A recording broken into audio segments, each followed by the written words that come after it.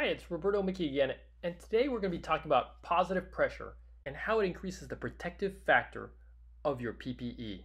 Most of the information we're providing today can be found on the OSHA website, and if you want to check out the information yourself, there'll be a link at the end of the video.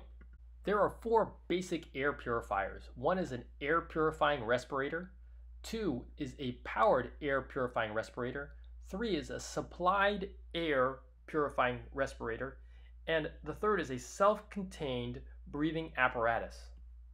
These are a series of drawings which show examples of different respirators. The top line are basically air purifying respirators of different types.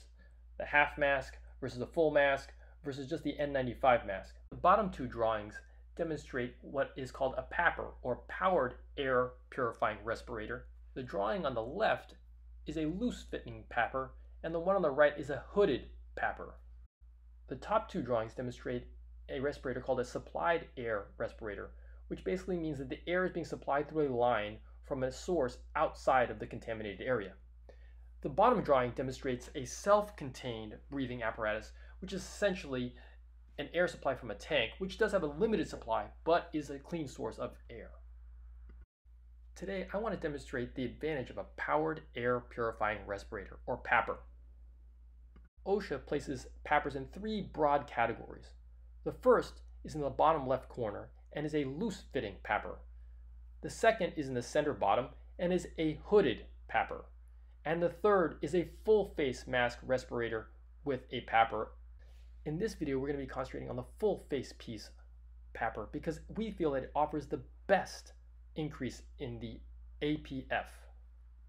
The APF is an assigned protective factor which is a term defined by OSHA. It allows one to broadly compare different types of respirators and their relative protective value. The larger the number, the more protection. And you can see that the self-contained breathing apparatus has the highest APF at 10,000, which makes sense. The air is coming from a self-contained tank.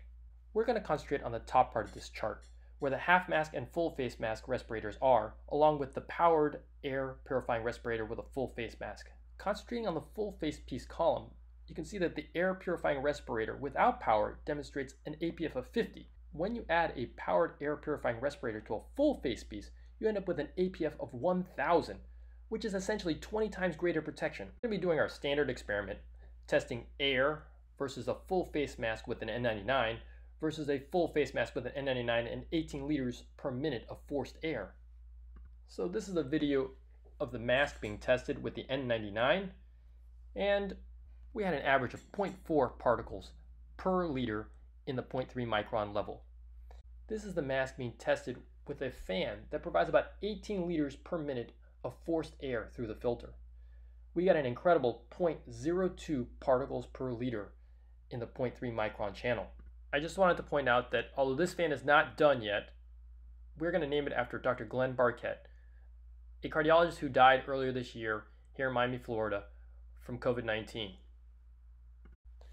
To give you the results, the air had 2,578 particles per liter. The mask plus the N99 filter was able to reduce the particle count down to 0.4 particles per liter.